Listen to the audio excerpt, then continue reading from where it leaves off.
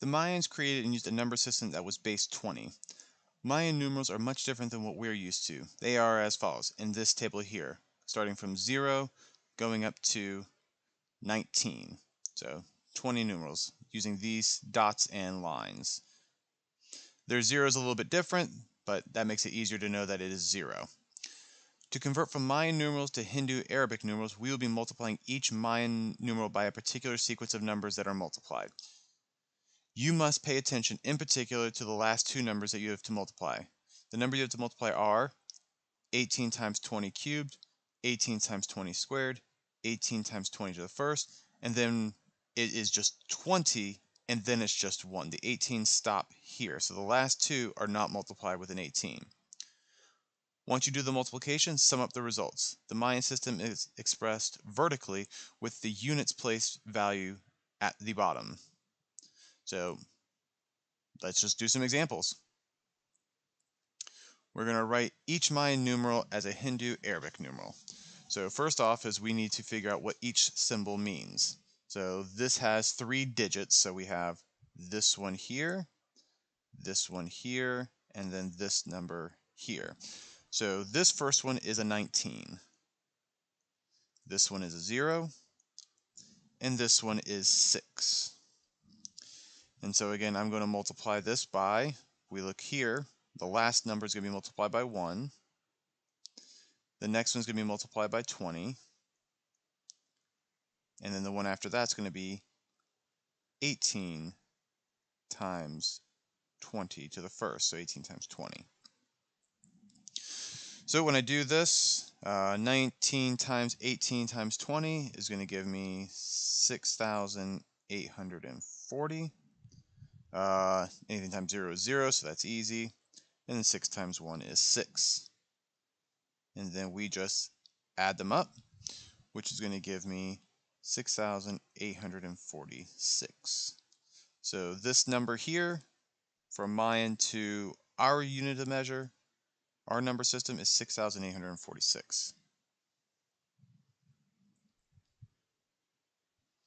Next, we got this one. This one's four digits, so we have this number, this number, this number, and this number. So we have four numbers here. So this first one here, the two dots, is just two. These are zeros. And this last number here is an 11.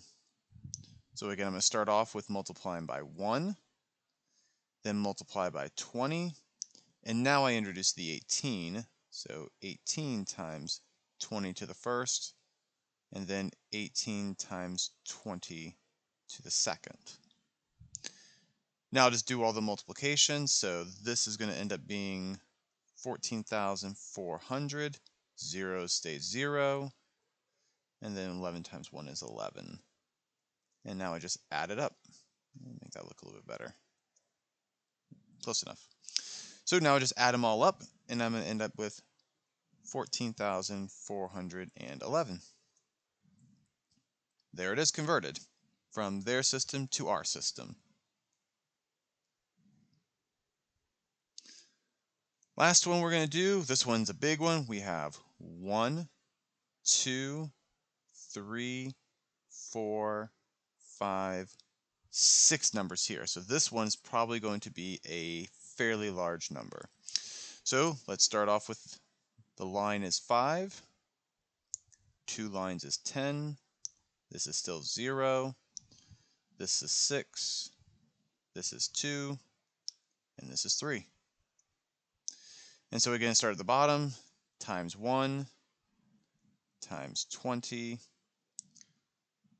And now we bring in the 18. 18 times 20. 18 times 20 squared.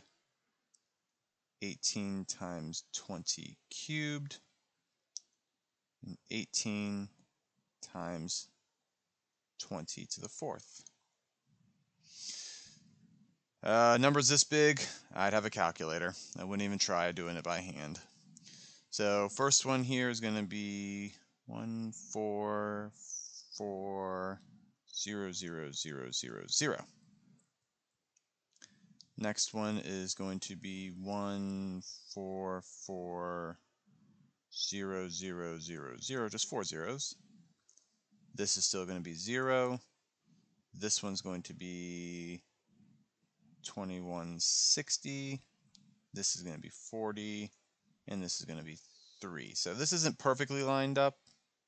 But again, by this point you should be using a calculator. You can just type in all these numbers into your calculator. So when I add all these up, I'm going to end up with, let's see here, 1, 5, 8, 4, 2, 2, 0, 3. And fix the 8 because it looks a little bit weird. 15842 So 15,842,203 is the conversion from Mayan numbers to our numbers.